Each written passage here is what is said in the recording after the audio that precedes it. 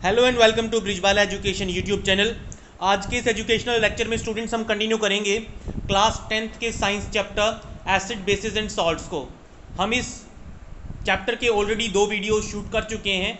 ये part three video है students अगर आप पूरा चैप्टर देखना चाहते हैं तो आपको उसकी प्लेलिस्ट डिस्क्रिप्शन के लिंक में मिल जाएगी।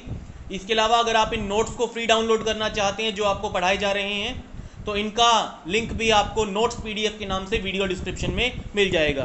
तो चलिए स्टूडेंट शुरू करते हैं। हमारा जो टॉपिक अब शुरू करना है दैट इज़ सॉल्ट देखिए सॉल्ट वो आयनिक कंपाउंड्स होते हैं जो न्यूट्रलाइजेशन रिएक्शन के दौरान बनते हैं। हमने लास्ट लेक्चर में न्यूट्रलाइजेशन रिएक्शन पढ़ी थी, जहाँ एसिड्स और बेसिस आपस में कंबाइन करके सॉल्ट्स बना रहे थे।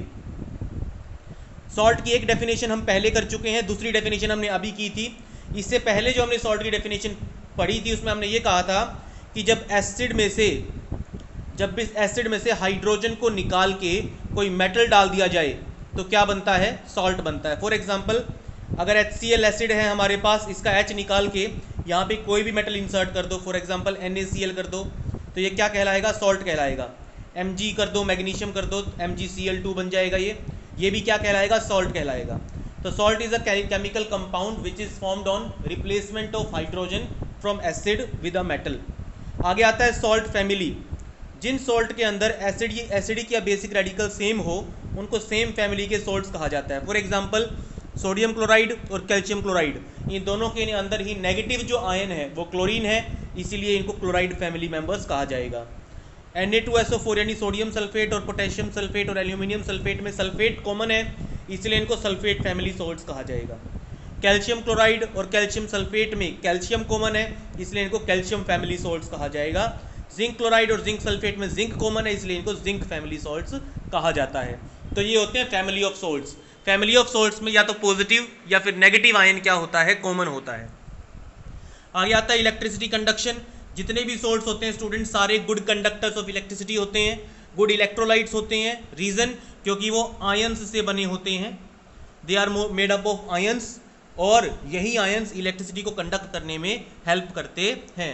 फॉर एग्ज़ाम्पल एन जो होता है it will break up into N positive and C L negative ions और ये दोनों के दोनों आयंस इलेक्ट्रिसिटी को कंडक्ट करवाने में हेल्प करेंगे। आगे आता है सोल्ट्स की पीएच वैल्यू सोल्ट्स तीन तरह के होते हैं. Acidic salt basic salt and neutral salt सबसे पहले पढ़ते हैं न्यूट्रल सॉल्ट के बारे में। न्यूट्रल सॉल्ट तब बनते हैं जब स्ट्रॉन्ग एसिड और स्ट्रॉन्ग बेस आपस में न्यूट्रलाइज करते हैं। Whenever we react a strong acid and a strong base, the neutral salts are formed.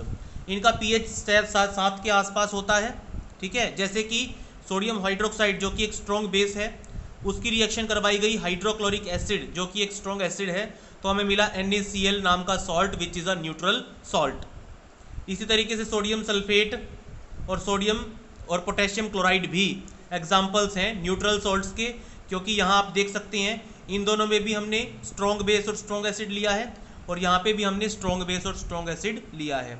तो जब आप स्ट्रॉन्ग बेस और स्ट्रॉन्ग एसिड को कंबाइन करके एक सोल्ट बनाते हैं then this salt is called then the salt will be called neutral salt आगे आता है बेसिक सोल्ट बेसिक सोल्ट क्या होता है? देखिए बेसिक सोल्ट वो सोल्ट होता है जो वीक एसिड और स्ट्रॉन्ग बेस के साथ रिएक्शन करने पे बनता है। अब आप खुद देखिए यहाँ पे एसिड के अंदर एच पॉजिटिव आयंस कम होंगे बेसिस के अंदर ओ एच नेगेटिव आयंस ज़्यादा होंगे कारण, क्योंकि बेस तो है स्ट्रॉन्ग और एसिड है वीक तो जब हम इन दोनों को कंबाइन करेंगे तो कुछ O H negative ions last में बच जाने वाले हैं।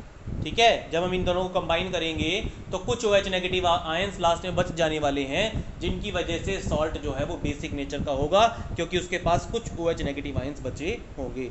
जैसे कि कार्बोनिक एसिड जो कि एक वीक एसिड है, इसकी रिएक्शन करवाई सोडियम हाइड्रोक्साइड के साथ तो हमें मिला sodium carbonate plus water which is an example of weak acid strong base की कम्बिनेशन का एग्ज़ाम्पल है, और हमें मिला है क्या? एक बेसिक सॉल्ट ये रिएक्शन इंपॉर्टेंट है एसिटिक एसिड और सोडियम हाइड्रोक्साइड एसिटिक एसिड एक वीक एसिड है. सोडियम हाइड्रोक्साइड एक स्ट्रॉन्ग बेस है. इन दोनों की रिएक्शन करवाने पे हमें मिला basic salt that is sodium acetate इसको हम सोडियम इथेनोइट भी बोल सकते हैं. आगे आता है एसिडिक सॉल्ट एसिडिक सॉल्ट ठीक उल्टा होगा स्टूडेंट्स आप समझ ही गए होंगे. जब हम किसी स्ट्रॉन्ग एसिड की वीक बेस के साथ करवाएँगे रिएक्शन तो एच पॉजिटिव बनेंगे ज़्यादा ओ एच नेगेटिव बनेंगे कम. और रिएक्शन होने के बाद कुछ एच पॉजिटिव आइंस बच जाएँगे। और क्योंकि एच पॉजिटिव आइंस बचे हुए हैं, इसलिए हम इसको क्या कहेंगे? एसिडिक सॉल्ट कहेंगे। एग्ज़ाम्पल इज़ अमोनियम क्लोराइड इसका एग्ज़ाम्पल है। अमोनियम सल्फेट इसका एग्ज़ाम्पल है।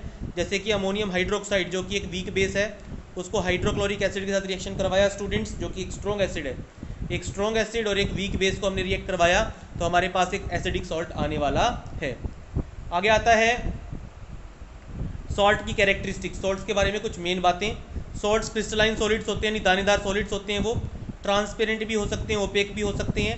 ज़्यादातर सॉल्ट्स पानी में घुलते हैं, कुछ एक को छोड़ के। ठीक है? कुछ एक ऐसे भी होते हैं जो स्पेरिंगली सोल्यूबल होते हैं वाटर में। अगला आता है, जो सॉल्ट्स होते हैं वो इलेक्ट्रिसिटी के गुड कंडक्टर होते हैं। मोल्टन स्टेट में भी, यानी अगर उनको पिघला के यूज़ करो, तब भी इलेक्ट्रिसिटी कंडक्ट करेंगे। एक्वा स्टेट यानी पानी में घोल दो, तब भी वो इलेक्ट्रिसिटी कंडक्ट करेंगे। लेकिन सॉलिड स्टेट में लेकिन सॉलिड स्टेट में सॉल्ट्स इलेक्ट्रिसिटी कंडक्ट नहीं करते स्टूडेंट्स क्योंकि सॉलिड स्टेट में उनके आयंस फ्रीली मूव नहीं कर पाते हैं। आगे आता है सॉल्ट्स का taste salty salt sweet bitter salt savoury कुछ भी हो सकता है। ज़्यादातर जो सॉल्ट्स होते हैं वो ऑर्डरलेस होते हैं, यानी उनकी कोई स्मेल वगैरह नहीं आती है। सॉल्ट्स जो होते हैं वो कलरलेस भी हो सकते हैं और कलर्ड भी हो सकते हैं, दोनों तरह के हो सकते हैं। आगे आता है स्टूडेंट्स वाटर ऑफ़ क्रिस्टलाइजेशन अब बताता हूँ वाटर ऑफ़ क्रिस्टलाइजेशन क्या होता है? कई बार जैसे यहाँ पे आपको दिखाई दे रहा होगा F E S O four dot seven H two O एक तो ये है और एक ये है F E S O four यहाँ पे ये तो है हाइड्रेटेड सोल्ट क्योंकि इसके अंदर वाटर ऑफ़ क्रिस्टलाइजेशन है, ये सेवन एच टू पीछे वाले। ये कहलाएगा anhydrous salt this will be called anhydrous salt ये एनहाइड्रस सोल्ट कहलाएगा क्योंकि इसके पास वाटर ऑफ़ क्रिस्टलाइजेशन नहीं है, ऊपर वाला हाइड्रेटेड सोल्ट कहलाएगा। ठीक है स्टूडेंट्स क्योंकि इसके पास सेवन एच टू लगे हुए हैं। अब इन दोनों में फ़र्क क्या होगा स्टूडेंट्स फ़र्क मैं बताता हूँ आपको। ऊपर वाला तो क्रिस्टल्स की फॉर्म में होगा, यानी दानेदार होगा ऊपर वाला। ऊपर वाले की क्रिस्टल्स बने होंगे। और नीचे वाला जो है, वो पाउडर स्टेट में होगा। ठीक है? क्योंकि वाटर ऑफ़ क्रिस्टलाइजेशन किसी भी सॉल्ट को पाउडर फॉर्म में ना रहने दे के उसके क्रिस्टल्स बना देता है। इसलिए इसको वाटर ऑफ़ क्रिस्टलाइजेशन भी कहते हैं। ठीक है? क्योंकि अगर किसी सॉल्ट के पास इस तरह के वाटर मोलिक्यूल्स होंगे, जैसे कि आपको यहाँ दिखाई दे रहे हैं तो the salt will exist in crystals उसके सॉल्ट के क्रिस्टल्स होंगे। और जबकि जिस सॉल्ट के पास वाटर ऑफ़ क्रिस्टलाइजेशन नहीं होगा, वो पाउडर स्टेट में एग्जिस्ट करेगा। पहला डिफरेंस तो ये। दूसरा डिफरेंस क्या होता है? ये वाला जो है पी एस ओ फोर ऊपर वाला डॉट सेवन एच टू ये light yellow light green colour का होगा ये, और नीचे वाला जो है वो वाइट कलर का होगा। तो दो चेंजेस लेके आता है वाटर ऑफ़ क्रिस्टलाइजेशन पहली बात तो पाउडर्ड सॉल्ट को क्रिस्टल्स में चेंज कर देता है वाटर ऑफ़ क्रिस्टलाइजेशन दूसरी बात, जो वाटर ऑफ़ क्रिस्टलाइजेशन होता है, वो कुछ सॉल्ट्स को कलर भी प्रोवाइड करता है। सबको नहीं करता, लेकिन कुछ सॉल्ट्स को कलर भी प्रोवाइड करता है। जैसे मैं एग्जांपल यहाँ पे एक एग्जांपल है हमारे पास, जो फेरस सल्फेट है एनहाइड्रस ये वाइट कलर का होता है, लेकिन अगर इसको क्रिस्टल्स बना दूँ मैं, इसको डब्ल्यूओसी प्रोवाइड कर दूँ मैं यानी वाटर ऑफ़ क्रिस्टलाइजेशन इसको प्रोवाइड कर दूँ मैं तो ये लाइट ग्रीन कलर का हो जाएगा स्टूडेंट्स ये डिफरेंस है, ये मेजर डिफरेंस है इसका.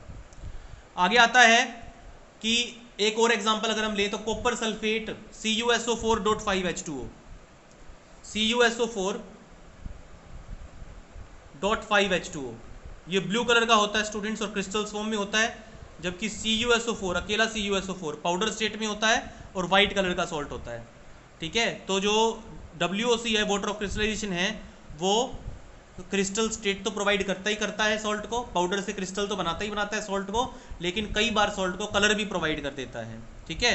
जैसे यहाँ पे दिखा रखा है कॉपर सल कॉपर सल्फेट पेंटाहाइड्रेट के बारे में, ठीक है? ब्लू कलर होता है इसका, लेकिन अगर मैं इसको हीट कर दूँ स्टूडेंट्स इसको हीट कर दूँ तो ये जो फाइव एच टू है, ये इवेपोरेट हो जाएगा और मेरे पास C U S O four बच जाएगा, जो कि वाइट कलर का होगा वाइट कलर का पाउडर होगा। ठीक है? फेरस सल्फेट का इसने बता दिया, मैं आपको बता चुका हूँ, ठीक है? अगला आपका कुछ इंपॉर्टेंट सॉल्ट्स के बारे में पढ़ेंगे स्टूडेंट्स हम। पहला सॉल्ट है प्लास्टर ऑफ़ पेरिस पहला salt plaster of Paris plaster of Paris क्या होता है? देखिए, जो प्लास्टर ऑफ़ पेरिस होता है, ये जिप्सम नाम के एक केमिकल को हीट करके बनाया जाता है। जिप्सम कैल्शियम सल्फेट का हाइड्रेटेड सॉल्ट होता है। C A S O four dot dot two H two O इसको कहा जाता है gypsum it is called gypsum इसको हीट करके प्लास्टर ऑफ़ पेरिस कहा जाता है। अब स्टूडेंट्स इसको प्लास्टर ऑफ़ पेरिस ही क्यों कहा जाता है? क्योंकि प्लास्टर ऑफ़ पेरिस को बनाने के लिए जिप्सम का इस्तेमाल होता था, जो शुरुआत में मेनली पेरिस में मिलता था। इसीलिए इसको शुरू, इसके, इसलिए इसको उस वक्त प्लास्टर ऑफ़ पेरिस का नाम दे दिया गया था, और आज भी इसको प्लास्टर ऑफ़ पेरिस ही कहा जाता है। क्या किया जाता है? इसको बनाया कैसे जाता है? इसकी प्रिपरेशन क्या होती है? जिप्सम है आपके पास? देखिए जिप्सम का फॉर्मूला अभी अभी मैंने आपको बताया। इसको 100 डिग्री सेल्सियस पे हीट करना है students it has to be heated to 100 degree Celsius. इससे ऊपर नहीं जाना आपको. 100 डिग्री सेल्सियस पे हीट करोगे तो आपके पास ये आएगा. देखिए ध्यान से. आपके पास आएगा C A S O four dot half H two O calcium sulphate hemihydrate वैसे तो स्टूडेंट्स आपको पता है हाफ़ मोलिक्यूल एग्जिस्ट नहीं करता. तो इसका सही जो फॉर्मूला होता है, वो होता है two C S O four two C S O four dot one H two ये इसका सही फॉर्मूला होता है वैसे तो। लेकिन हम अक्सर यही फॉर्मूला यूज़ करते हैं, ऊपर वाला ही फॉर्मूला यूज़ करते हैं स्टूडेंट्स हम। ठीक है? कैल्शियम सल्फेट हाफ़ हाइड्रेट या फिर कैल्शियम सल्फेट हेमी हाइड्रेट इसको कहा जाता है और कुछ वाटर मोलिक्यूल्स जो है वो निकल जाते हैं। ठीक है स्टूडेंट्स और अगर इसमें मैं पानी मिला दूँ प्लास्टर ऑफ़ पेरिस में पानी ऐड कर दूँ तो दोबारा क्या बन जाएगा? जिप्सम बन जाएगा। ठीक है? यानी प्लास्टर ऑफ़ पेरिस शुरू में पाउडर होता है, लेकिन जैसे ही मैं इसमें पानी मिल जाऊँ, मिला दूँगा तो ये हार्ड हो जाएगा सीमेंट की तरह। बिल्कुल हार्ड हो जाएगा, ठीक है? प्लास्टर ऑफ़ पेरिस का इस्तेमाल कई जगहों पे किया जाता है टॉयज़ बनाने के लिए फॉल सीलिंग करवाने के लिए डॉक्टर्स इसका इस्तेमाल फ्रैक्चर्ड बोन्स को सेट करने के लिए करते हैं लेबोरेटरी में इसका इस्तेमाल एयर टाइट कंडीशन प्रोवाइड करने के लिए भी किया जाता है, आपके घर में जो डेकोरेशन होती है सीलिंग की डेकोरेशन जिसको फॉल्स सीलिंग बोलते हैं, वो भी पीओपी से करवाई जाती है। तो स्टूडेंट्स इसको अच्छे अच्छे से पढ़ लें, इसको बनाने के लिए जिप्सम को 100 डिग्री सेल्सियस पे हीट किया जाता है अगर आप उससे ज़्यादा हीट कर देंगे तो आपके पास सी एस ओ फोर बन जाएगा। डेट बर्नट प्लास्टर बन जाएगा सी एस ओ फोर जो किसी काम का नहीं होता, ये बन जाएगा आपके पास। इसके अलावा स्टूडेंट्स आपको प्लास्टर ऑफ़ पेरिस को पानी से भी दूर रखना होता है, क्योंकि जैसे ही आप उसको पानी प्रोवाइड कर दोगे, वो हार्ड हो जाएगा हार्ड सेट हो जाएगा वो, और वो दोबारा पहले जैसा नहीं बन बन पाएगा। इसलिए आपको प्लास्टर ऑफ़ पेरिस को मॉइस्चर प्रूफ स्पेसिस में स्टोर करना होता है। आगे आता है स्टूडेंट्स कॉमन सॉल्ट यानी सोडियम क्लोराइड ठीक है? कॉमन सॉल्ट या टेबल सॉल्ट भी कहते हैं क्योंकि हम अपने खाने में जो नमक डालते हैं, आपके खाने में जो नमक डालते हैं हम, वो एन ही होता है मेनली ये बनता कब है? सोडियम हाइड्रोक्साइड और एचसीएल ठीक है? ये बनता कब है? जब आप एन यानी बेस की एच के साथ रिएक्शन करवाते हैं स्टूडेंट्स तो हमारे पास क्या क्या बनता है? एन बनता है, यानी ये वाला सॉल्ट बनता है प्लस एच बनता है. ये तो है, इसको लेबोरेटरी में कैसे बनाया जाता है? लेकिन हमारे घरों में जो सॉल्ट आता है स्टूडेंट्स हमें पता है, काफ़ी सस्ता होता है तो उसको कैसे बनाया जाता है, उसको बनाने का तरीका अलग होता है। ठीक है? देखो, पहली बात तो सी वाटर से हम टेबल सॉल्ट ऑप्टेन कर सकते हैं। सी वाटर में काफ़ी अमाउंट में ये सॉल्ट मौजूद होता है। समर सीज़न में हम सी वाटर को इकट्ठा करके उसको इवेपोरेट करवा देते हैं सन की हीट से और हमारे पास सोडियम क्लोराइड आ जाता है। उसको रिफाइन करके हम सॉल्ट की तरह यूज़ कर सकते हैं। फ्रॉम रॉक सॉल्ट्स जो हमारे अर्थ के नीचे भी रॉक सॉल्ट्स यानी रॉक्स के अंदर भी एनएसीएल मौजूद है जिसको हम रॉक सॉल्ट बोलते हैं। अंडरग्राउंड डिपॉजिट्स में मौजूद है ये। ठीक है? इसको जो है ज़मीन के नीचे से सरफेस के नीचे से निकाला जा निकाला निकालना पड़ता है। इसके अंदर काफ़ी इम्प्योरिटीज़ होती हैं उनको साफ़ करके उसको क्रश करके यानी पाउडर बना के तब घरों में सप्लाई किया जाता है। अब आगे हम अग, कुछ ऐसे केमिकल्स के बारे में पढ़ेंगे स्टूडेंट्स जिनको कॉमन सॉल्ट से बनाया जाता है। Some chemicals some important chemicals which are prepared by using common salt पहला है sodium hydroxide sodium hydroxide students एक स्ट्रॉन्ग बेस है। इसको कास्टिक सोडा के नाम से भी जाना जाता है। It is also called caustic soda याद रखें। क्या किया जाता है? सोडियम क्लोराइड का सोल्यूशन लिया जाता है, जिसको हम बोलते हैं brine students concentrated solution of sodium chloride sodium chloride को पानी में घोल दो, बहुत ज़्यादा। बहुत ज़्यादा सोडियम क्लोराइड को पानी में घोल दोगे तो उसको हम कहेंगे ब्राइन तो क्या किया जाता है? ब्राइन के अंदर से इलेक्ट्रिसिटी पास की जाती है स्टूडेंट्स ये देखिए ब्राइन है। सोडियम क्लोराइड को पानी में घोल रखा है। इट इज़ कॉल्ड ब्राइन इसके अंदर से इलेक्ट्रिसिटी पास की जाती है स्टूडेंट्स जब इसके अंदर से इलेक्ट्रिसिटी पास की, कर दी जाती है तो हमें तीन प्रोडक्ट्स मिलते हैं। सोडियम हाइड्रोक्साइड क्लोरीन और हाइड्रोजन ठीक है स्टूडेंट्स ये तीन प्रोडक्ट्स मिलते हैं। हाइड्रोजन जो गैस है स्टूडेंट्स ये हमें मिलती है, क्योंकि ये पॉजिटिव होती है। ठीक है तो ये नेगेटिव इलेक्ट्रॉन यानी कैथोड पे बनती है। It is deposited at cathode ये आपको कैथोड के पास मिलेगी, जबकि जो क्लोरीन गैस है it will be formed at anode ये आपको एनोड के पास मिलेगी। ठीक है स्टूडेंट्स तो तीन चीज़ें मिल जाती हैं आपको सोडियम हाइड्रोक्साइड क्लोरीन और हाइड्रोजन अब इस प्रोसेस को स्टूडेंट्स क्लोर एल्कली प्रोसेस कहा जाता है, जो अभी अभी मैंने आपको ये रिएक्शन बताई है। इस रिएक्शन को क्लोर एल्कली प्रोसेस कहा जाता है। क्लोर एल्कली प्रोसेस इसलिए कहा जाता है, इसमें एल्कली तो है एन बेस है। मैंने आपको पहले बताया था एल्कली कहा जाता है वाटर सोल्यूबल बेसिस को। एन एक एल्कली है। तो एल्कली नाम तो एन के लिए आया है और क्लोर क्लोर जो वर्ड है वो क्लोरीन से आया है। तो this process is called chlor alkali process because of the formation of an alkali N and chlorine gas ठीक है स्टूडेंट्स अब इस रिएक्शन के दौरान बनने वाली तीनों चीज़ों का एन का भी क्लोरीन का भी और हाइड्रोजन का भी, तीनों का हम यूज़ करते हैं। हाइड्रोजन गैस का इस्तेमाल फ्यूल में मार्गरीन मार्गरीन यानी बटर वगैरह बनाने में, मक्खन वगैरह बनाने में फर्टिलाइजर्स बनाने में हाइड्रोजन का इस्तेमाल होता है। इसके अलावा ये रॉकेट फ्यूल भी होता है हाइड्रोजन क्लोरीन गैस का इस्तेमाल पानी को डिसइंफेक्ट करने में, पानी को साफ़ करने के लिए हम उसमें क्लोरीन गैस पास करवा सकते हैं। पीवीसी बनाने के लिए डिसइंफेक्टेंट्स बनाने के लिए सीएफसी बनाने के लिए पेस्टिसाइड्स बनाने के लिए ब्लीचिंग पाउडर बनाने के लिए हाइड्रोक्लोरिक एसिड बनाने के लिए, इतनी सारी चीज़ों को बनाने के लिए हम क्लोरीन गैस का यूज़ करते हैं। सोडियम हाइड्रोक्साइड का इस्तेमाल मेटल डिक्रीसिंग के लिए मेटल्स के ऊपर से ग्रीस को उतारने के लिए पेपर बनाने के लिए, सोप, डिटर्जेंट आर्टिफिशियल फाइबर्स और ब्लीच को बनाने के लिए सोडियम हाइड्रोक्साइड का इस्तेमाल स्टूडेंट्स किया जाता है। तो यहाँ पे आपके सामने थी क्लोर एल्कली प्रोसेस जहाँ पे हमने ब्राइन यानी cold and concentrated solution of N को इलेक्ट्रोलिसिस करके, इसकी इलेक्ट्रोलिसिस करके हमने क्या बनाया स्टूडेंट्स हमने सोडियम हाइड्रोक्साइड क्लोरीन गैस और हाइड्रोजन गैस बनाई है। अगला सॉल्ट आपका आता है students bleaching powder bleaching powder को क्लोराइड ऑफ़ लाइम भी कहा जाता है। क्यों कहा जाता है? क्योंकि ब्लीचिंग पाउडर को कैसे बनाया जाता है? ब्लीचिंग पाउडर को बनाने के लिए ड्राई स्लेट लाइम के ऊपर से क्लोरीन गैस पास की जाती है स्टूडेंट्स ठीक है, आप एक बार ध्यान रखें मेरी बात का। ड्राई स्लेक्ड लाइम लेंगे आप ये कैल्शियम हाइड्रोक्साइड लेंगे ड्राई ड्राई इसके ऊपर से जब आप क्लोरीन का पास करेंगे तो आपके पास ये बनेगा कैल्शियम ऑक्सीक्लोराइड बनेगा और साथ में वाटर मॉलिक्यूल्स इवॉल्व होंगे। ठीक है, क्योंकि इसको बनाने के लिए हमने क्लोरीन गैस को पास किया लाइम वाटर लाइम के ऊपर से। यानी स्लेक्ट लाइम के ऊपर से इसलिए इसको कहा जाता है क्लोराइड ऑफ़ लाइम।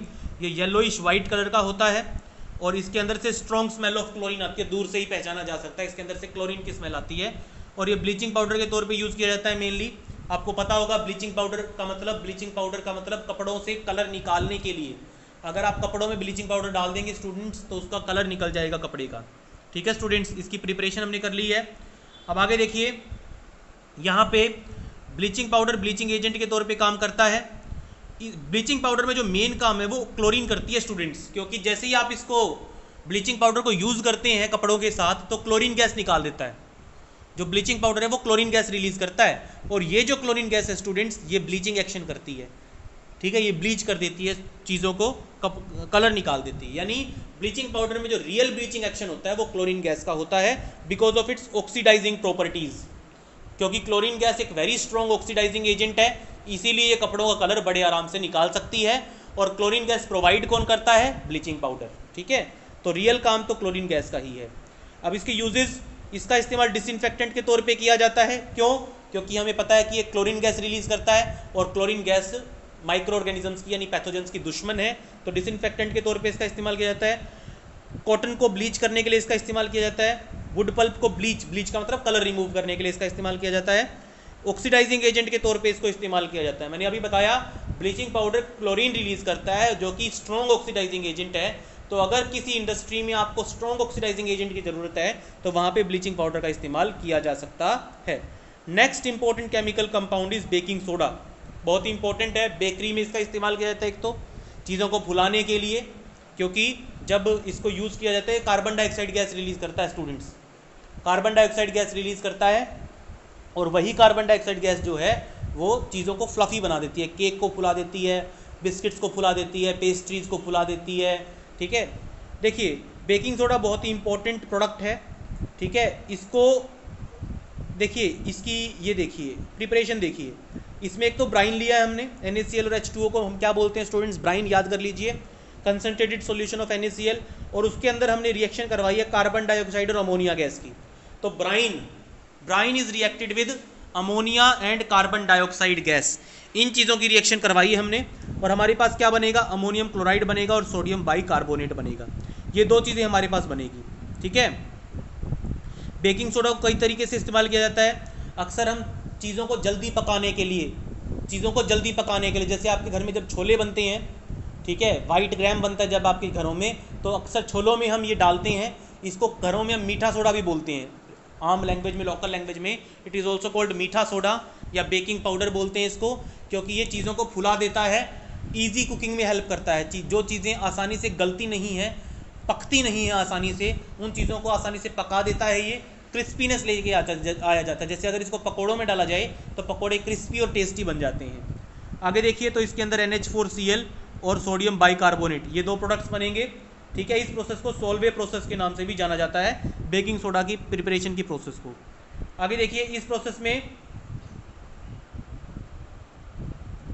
इस प्रोसेस में NaHCO3 को फ़िल्टर करके निकाला जा सकता है बड़ी आसानी से। आगे देखिए सोडियम कार्बोनेट की यूजेस सोडियम बाइकार्बोनेट की यूजेस वाइट क्रिस्टलाइन सॉलिड होता है, लेकिन फाइन पाउडर यानी वाइट क्रिस्टलाइन सॉलिड होता है लेकिन ये दिखता फाइन पाउडर की तरह है। इसको हाथ लगा के देखने में पता चलता है कि ये पाउडर नहीं है, बल्कि क्रिस्टल्स हैं। एम्फोटेरिक नेचर का होता है। एम्फोटेरिक का मतलब होता है स्टूडेंट्स कई बार ये एसिडिक नेचर दिखाता है, कई बार ये बेसिक नेचर दिखाता है। लेकिन स्टूडेंट्स जब हम इसका पीएच चेक करते हैं तो ये बेसिक सॉल्ट होता है। तो आप कन्फ्यूज़न में ना रहें it is a basic salt ये वाटर में स्पेरिंगली सोल्यूबल यानी पानी में आसानी से घुलता नहीं है ये। अगर मैं इसको हीट करूँ, ये देखिए हीट करने पे ये होगा स्टूडेंट्स हीट करने पे ये कार्बन डाइऑक्साइड और वाटर रिलीज़ करेगा और यही कार्बन डाइऑक्साइड चीज़ों को फुला देती है बेकरी में। लेकिन स्टूडेंट्स इसको डायरेक्टली हीट करने पे एक प्रॉब्लम क्रिएट हो जाती है। अगर मैं अपनी खाने की चीज़ों में सोडियम बाइकार्बोनेट डाल दूँगा तो और हीट करूँगा तो सोडियम कार्बोनेट बनेगा स्टूडेंट्स जो कि एक बेस है और इसका टेस्ट कड़वा होता है। यानी अगर आप बेकिंग सोडा को डाल दोगे ना अपने केक में, आपने अगर केक में बेकिंग सोडा डाल दिया और उसको हीट कर दिया तो आपका केक बहुत सही बन जाएगा। दिखने में कोई फ़र्क नहीं होगा। लेकिन आपके टेस्ट अपने, आपके केक के अंदर कड़वाहट आ जाएगी बीटरनेस आ जाएगी due to the formation of sodium carbonate जिसका टेस्ट बिटर होता है। इसीलिए इसको डायरेक्टली इस्तेमाल नहीं किया जाता स्टूडेंट्स जब बेकरी में इसका इस्तेमाल किया जाता है ना तो इसको थोड़ा सा अलग तरीके से इस्तेमाल किया जाता है। ये देखिए, ये केमिकल रिएक्शन होती है वहाँ पर बेकरी में ये केमिकल रिएक्शन होती है, इसको आप मार्क कर सकते हैं। क्या किया जाता है? बेकिंग सोडा को हाइड्रोजन आयंस के साथ रिएक्ट करवाया जाता है। ये हाइड्रोजन आयंस किसी भी एडिबल एसिड हमारे घरों में हमें पता है, हम बहुत सारे एसिड्स को खाते हैं। टार्टेरिक एसिड सिट्रिक एसिड बहुत सारे एसिड्स खाते हैं। तो किसी भी खाने लायक एसिड को इसके साथ मिला देते हैं मैंने एच के साथ। इन दोनों के मिक्सचर को स्टूडेंट्स कहा जाता है बेकिंग पाउडर इन दोनों को मिला के ही कहा जाता है बेकिंग पाउडर इसको अकेले को बेकिंग सोडा कहा जाता है, इन दोनों को मिला के बेकिंग पाउडर कहा जाता है। अब जब मैं बेकिंग पाउडर डालूँगा, इन दोनों का मिक्सचर डालूँगा तो मेरे पास सोडियम आयंस बनेंगे कार्बन डाइऑक्साइड बनेगी वाटर बनेगा। मेरे पास अब की बार ऐसा सोल्ट बनेगा जो कि बिटर टेस्ट का नहीं होगा, यानी मेरा केक फूल भी जाएगा और उसमें कड़वा टेस्ट भी नहीं आएगा। ठीक है स्टूडेंट्स इसका यूज़ और कहाँ कहाँ होता है? एंटासिड के तौर पे इसको यूज़ किया जाता है टूथपेस्ट में इसको यूज़ किया जाता है सिल्वर की चीज़ों को साफ़ करने के लिए इसका इस्तेमाल किया जाता है। इसके अलावा इसको फायर एक्सटिंग्विशर्स में भी यूज़ किया जाता है स्टूडेंट्स फायर एक्सटिंग्विशर्स में, क्योंकि हमें पता है कार्बन डाइऑक्साइड गैस आग को बुझा सकती है और एन हीट करने पे या फिर एसिड के साथ रिएक्ट करने पे कार्बन डाइऑक्साइड गैस प्रोड्यूस करता है। इसीलिए इसको फायर एक्सटिंग्विशर्स में भी यूज़ किया जाता है। इसकी रिएक्शन करवाई जाती है एसिड के साथ। कार्बन डाइऑक्साइड गैस निकलती है और वही कार्बन डाइऑक्साइड गैस आग को बुझाने का काम करती है। आगे आता है student washing soda washing soda यानी सोडियम कार्बोनेट को कैसे बनाया जाता है? पहली प्रोसेस तो सेम है स्टूडेंट्स पीछे वाली। देखिए सेम प्रोसेस है ना सोलवे प्रोसेस सोडियम क्लोराइड को कार्बन डाइऑक्साइड हाइड्रो अमोनिया और वाटर के साथ रिएक्ट करवाया। अमोनियम क्लोराइड और एन बना। एन को हीट कर दिया मैंने। तो क्या बन गया? सोडियम कार्बोनेट बन गया। इस सोडियम कार्बोनेट के अंदर वाटर डाल देंगे हम तो N A two C O three dot ten H two O बन जाएगा। ये कहलाएगा आपका वॉशिंग सोडा ठीक है सोडियम बाइकार्बोनेट डैका हाइड्रेट यहाँ पे डैका वर्ड टेन को डिनोट कर रहा है। तो तीन स्टेप्स हैं इसको इसकी फॉर्मेशन के स्टूडेंट्स ये तीनों स्टेप आपको अच्छे से लर्न करने होंगे। एक बार और रिपीट करता हूँ। First of all brine is reacted with ammonia and carbon dioxide हमारे पास बनता क्या है? अमोनियम क्लोराइड बनता है और साथ में सोडियम बाइकार्बोनेट बनता है। यहाँ पे सोडियम बाइकार्बोनेट के प्रेसिपिटेट बनते हैं इसलिए आसानी से फ़िल्टर करके हम सोडियम बाइकार्बोनेट को निकालते हैं। उसके बाद हम उसको हीट कर देते हैं। हीट करने पे हमें बन, मिलता है सोडियम कार्बोनेट कार्बन डाइऑक्साइड और वाटर अब जो ये सोडियम कार्बोनेट हमें मिला है, इस सोडियम कार्बोनेट की क्रिस्टलाइजेशन कर देंगे। हम छोटी क्लासेस में सिखाई जाती है आपको क्रिस्टलाइजेशन इसकी क्रिस्टलाइजेशन कर देंगे तो हमारे पास मिलेगा N E two C O three dot ten H two O जिसको वॉशिंग सोडा भी कहा जाता है। इसके यूजेस क्या क्या है स्टूडेंट्स ये पानी में सोल्यूबल होता है वॉशिंग सोडा इसको कपड़ों को साफ़ करने के लिए, ठीक है? और डिटर्जेंट्स वगैरह बनाने के लिए। और परमानेंट हार्डनेस ऑफ़ वाटर को रिमूव करने के लिए। इसको अच्छे से याद कर लें स्टूडेंट्स अगर आपको एग्ज़ाम में पूछ लिया जाए, कौन सा ऐसा कंपाउंड है जिसको एन से बनाया जाता है और परमानेंट हार्डनेस ऑफ़ वाटर को रिमूव करता है तो आप याद रखें the chemical is washing soda ठीक है? सोडियम कार्बोनेट डेकाहाइड्रेट इसका इस्तेमाल ग्लास और पेपर इंडस्ट्रीज़ में भी किया जाता है। ठीक है स्टूडेंट्स तो ये था आपका चैप्टर आपका चैप्टर कंप्लीट हो गया एसिड बेसिस एंड सॉल्ट इसकी एनसीईआरटी एक्सप्लेनेशन इस चैप्टर की, अगर आप एनसीईआरटी में से इसको इसको समझना चाहते हैं तो एनसीईआरटी एक्सप्लेनेशन का लिंक भी आपको जल्द ही इस वीडियो डिस्क्रिप्शन में अवेलेबल करवा दिया जाएगा। इसके अलावा स्टूडेंट्स इस चैप्टर के ऊपर पिछले सात आठ सालों में सी e ने जो क्वेश्चंस पूछे हैं, उन क्वेश्चंस के ऊपर भी एक वीडियो जल्द ही प्लेलिस्ट में अपलोड कर दी जाएगी। अगर आप इस चैप्टर को पूरा देखना चाहते हैं तो इस वीडियो डिस्क्रिप्शन में दिए गए लिंक पे क्लिक करें। वहाँ पर वहाँ पे आपको इस चैप्टर की पूरी प्लेलिस्ट मिल जाएगी, पूरा चैप्टर मिल जाएगा विद क्वेश्चन आंसर्स मिल जाएगा। ठीक है? इसके अलावा अगर आपको एन में से समझना है चैप्टर तो एन की एक्सप्लेनेशन भी आपको वहाँ मिल जाएगी।